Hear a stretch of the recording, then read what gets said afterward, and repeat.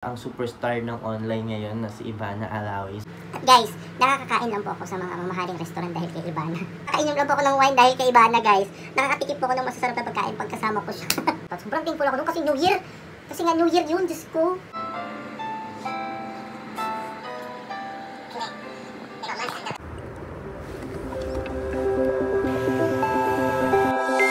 Look into my eyes and show me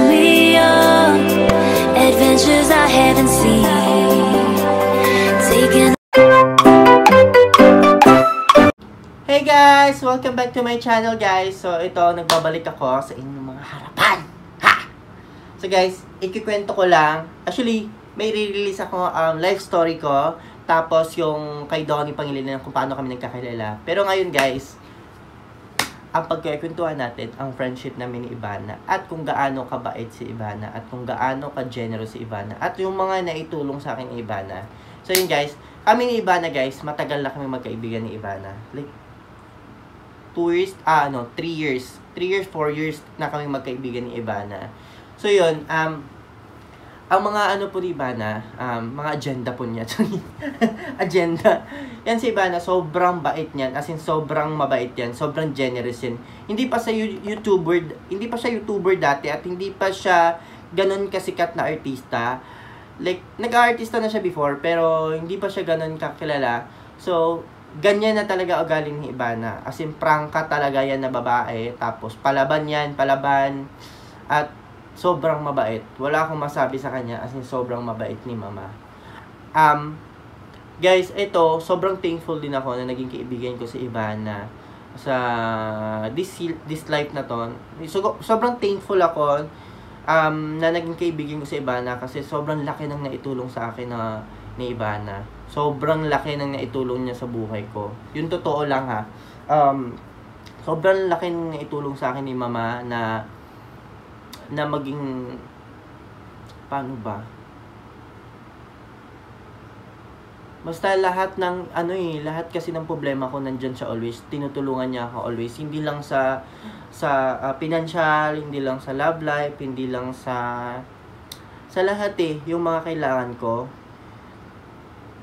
At ako din, nandun ako sa kanya always pag may problema siya. Kami ang nagdadamayan dalawa pag may mga problema kami sa isa't isa. So, ano eh, pag may problema siya, andun ako always, tinatawagan niya ako. Andun ako always sa kanya.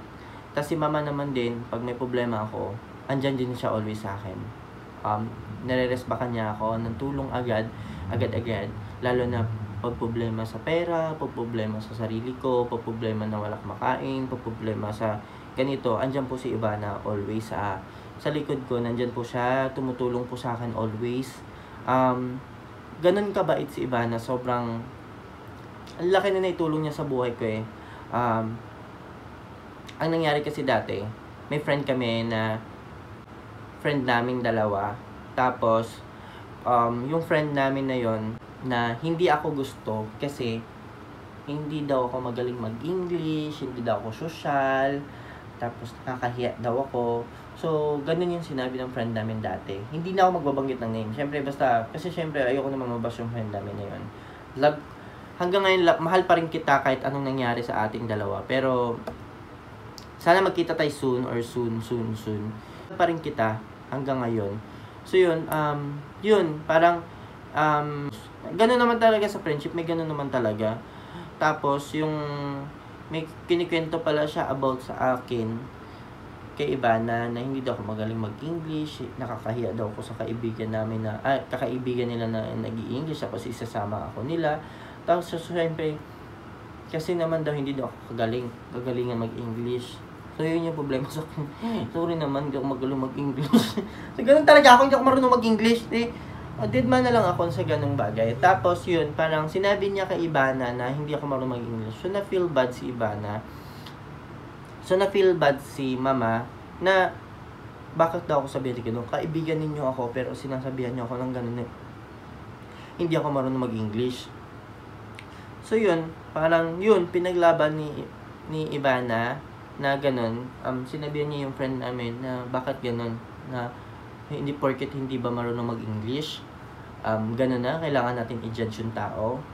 Kaibigan natin yun eh. Kahit anong, kahit ano siguro siya, kahit ano pa yan, kahit hindi marunong mag-English or kahit mahirap pa na yung kaibigan natin, huwag natin ganun kasi kaibigan natin. Which is, kailangan pa nga nating tulungan, hindi natin i-down yung kaibigan natin porket hindi siya marunong mag-English. So, ganun yung sinabi ni Ivana sa kaibigan namin. Na tapos, pin, mas pinili ako ni Ivana kasi na-feel bad si mama, si mama doon, doon sa friend namin. So, mas pinili ako ni Ivana na maging kaibigan kaysa doon sa old friend namin.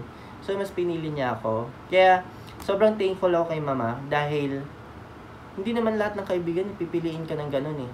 Hindi lahat ng kaibigan na um, paninindigan ka ng ganun eh. At pagtatanggol ka ng ganun. Malay mo, 'di ba? Hindi naman lahat. Hindi kasi talaga lahat ng hindi katulad ni ni Ibana yung ganung ibang tao. Sobrang bait talaga ni Mama. At thankful ako doon dahil pinili niya ako na maging kaibigan niya at always nasa side niya. So, nagpapasalamat ako. At dumating sa time na dumating sa time na parati akong kasama ni mama, lahat. Sinasabi niya, Mama, asan ka? Nasa QC ako. Gusto mong kumain? So, ginagano ako ni mama. So, pinililibre niya ako ng pagkain. Lahat libre ako pag umaalis kami ni Ivana. Pati yung Cebu ko at ano ko, yung Boracay ko. Never pa ako nakapunta Cebu. Never pa ako nakapunta ng Boracay. Pero, tinupad ni Ivana yung, yung pangarap ko dati na sinama niya ako sa Cebu, sinama niya ako sa Boracay. So yun, sinagot niya lahat yung ano ko expenses ko doon. Tapos yun eh. Papakita ko yung mga picture namin na iba na dati. So yun, um after that, um So yun, tinulungan ako ni mama. Tapos pag may mga pag wala akong pera, binibigyan niya ako ng pera. Ma, kasi nasabi ko sa kanya na mawala akong pera ganito, ganyan. Tapos binibigyan niya ako ng pera na, ni mama. So, mama kasi tawag ko sa kanya.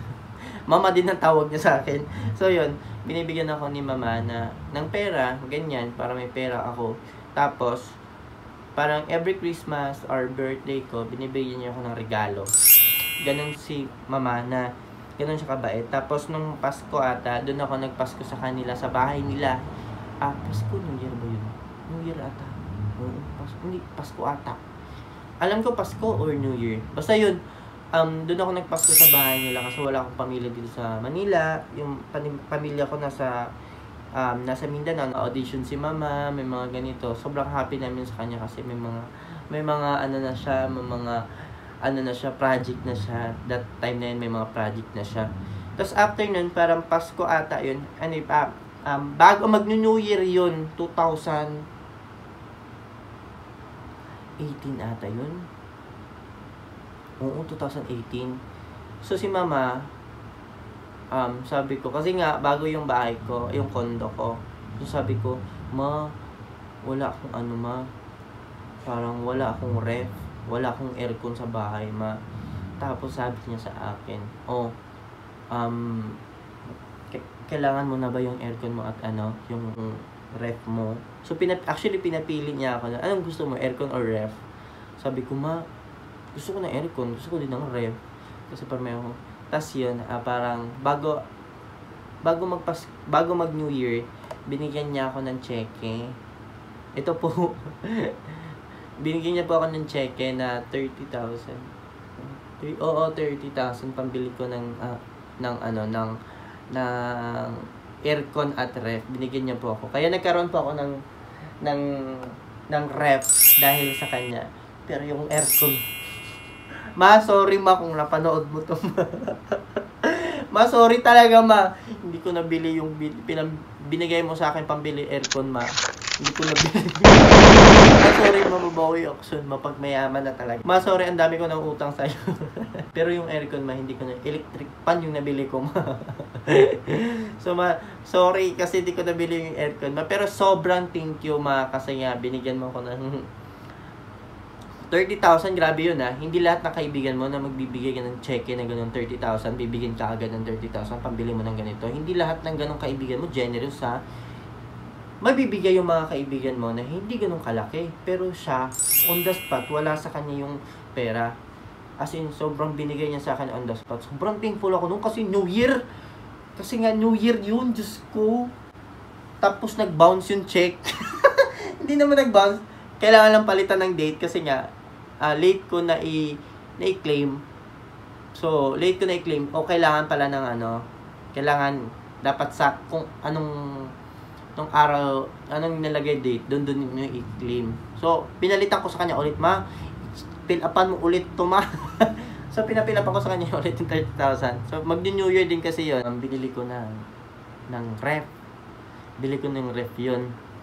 So, kaya, nandyan yung ref, ma. Kaya, thank you, ma, kasi nagkaroon ako ng ref dahil sa, ref! Dahil sa'yo. Kaya, sobrang thankful ako, ma. Kaya, after nun, pag uwi ko ng galing New Year, kasi nga, wala daw siyang, wala pa siyang regalo dun, ha? Wala pa siyang regalo sa akin, dun, ha? Eh, binigyan niya ako ng check na 30,000. Binigyan pa niya ako pag uwi ko ng New Year. Pinag-shopping pa niya ako sa Bershka. Mahal yung brand na Bershka, Diyos ko. Pero binilhan niya ako ng bag. Binilhan niya ako ng sapatos. Ah, Dala, ah, dalawa kong sapatos na bin, binigay niya sa akin. Um, regalo niya sa akin lahat yon. Ang dami din niyang naibigay sa akin ni Mama, Diyos ko.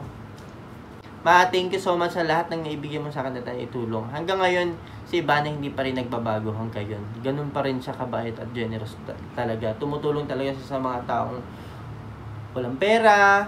So, mga kaibigan niyang walang pera. Ganun. Alkansya po talaga si Ivana. Alkansya po namin siya. ma, thank you ma. Sana ah, more blessings pa ang dumating sa iyo ma. At happy ako sa iyo sa lahat ng achievements sa iyo ngayon. Hindi man tayo parati nagkakasama.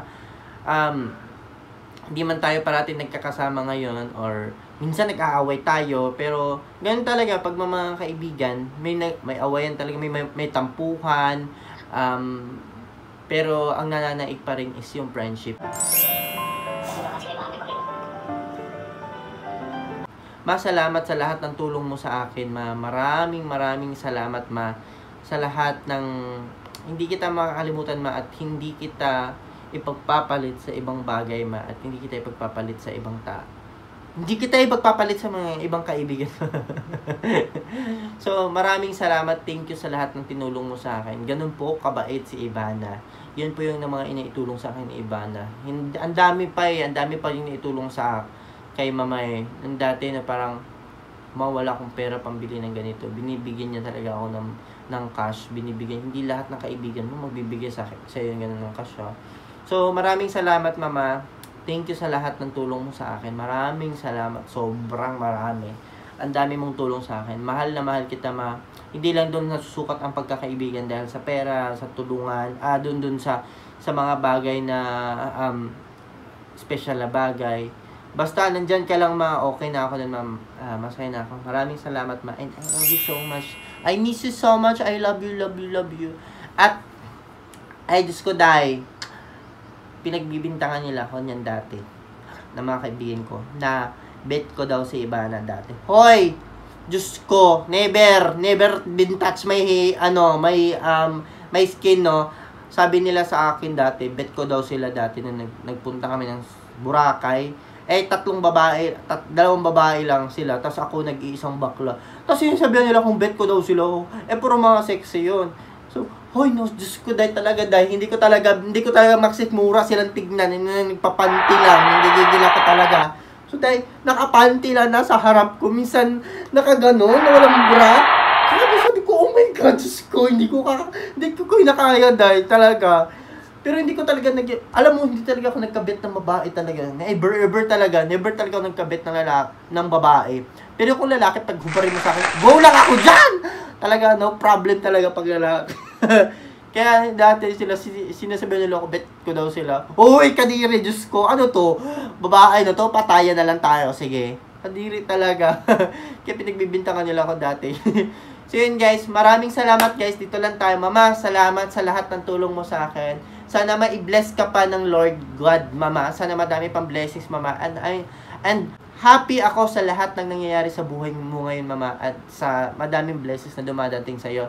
Sana ma, madami ka pang matulungan na tao. At I love you so much. I miss you. I love you, Ma. At guys, nakakakain lang po ako sa mga mamahaling restaurant dahil kay Ibana. Yung nakakainom lang po ako ng wine dahil kay Ibana, guys. Nakakatikim po ako ng masasarap na pagkain pagkasama ko siya. Doon lang po ako nakakatikim at nai-experience ko yung, mga ganong bagay. Kasi, pag mga mahal talagang pagkain, hindi talaga ako bumibili. Lalo na pag wine-wine, hindi talaga ako bumibili. Kasi syempre sayang. Sayang din yun, no? Pwede pang paggastos pang araw-araw. Eh, magkano yung mabibil mo ng mga ganyan? Magkano yung mabibil mo? Ba, 2,000, 3,000, 4,000. Diyos ko, kakain ako ng ganun. Huwag na lang, no? Yung 4,000, kakain. Ano ko pa yun, magagamit ko pa yun sa pang one week yun na budget sa bahay ko. So yun guys, nakakakain lang ako ng mga social na pagkain pagkasama ko si Ivana. Pero pag wala si Ivana, hindi ako makakain ng social pagkain kasi mahal.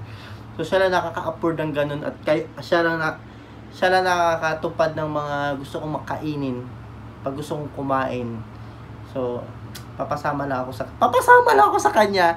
Siya lang talaga nang gaganon sa akin. Nakakakain ako ng ganong masarap na pagkain dahil sa kanya. Kaya mama, thank you. I love you.